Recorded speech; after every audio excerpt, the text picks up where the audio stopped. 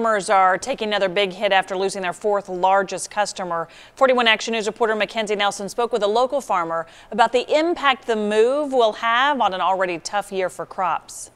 You could call this soybean field the front lines to a new war on trade after China announced they'd no longer be buying ag products from the U.S. It's like working your 40 hours and getting less money for no other reason than that's the price. Mike Moreland is a third generation farmer just outside of Harrisonville. He grows soybeans, corn, and raises cattle. That's our total income that's what we do. This week, China said it would stop buying U.S. agricultural products. The loss piles onto an already tough year. Weather's the main thing. Uh, you know, with so much rain early in the season, it was very tough to get our corn planted on time.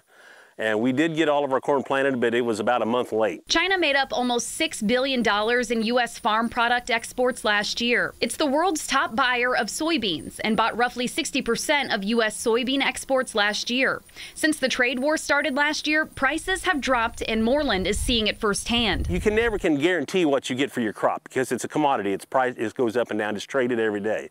But as a whole, yes, we got less for our soybeans last year than we did the year before. Moreland says he's feeling the pinch, but not as much as other farmers. We're pretty secure in our farm business, but there's a lot of farmers out there that had more debt and this hit them hard. With 700 acres of corn and 700 acres of soybeans, Moreland says he's staying afloat by budgeting his spending, and he's hoping the U.S. and China can come to an agreement. I really appreciate the, the objective of getting fair trade. We want trade. We want to trade with other countries. We need trade.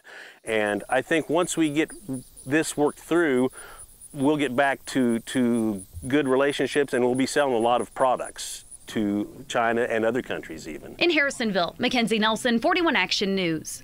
And we also spoke to a farmer on the Kansas side who said he's feeling the impact too, but would like to see the Trump administration continue to press China to get a fair agreement in place.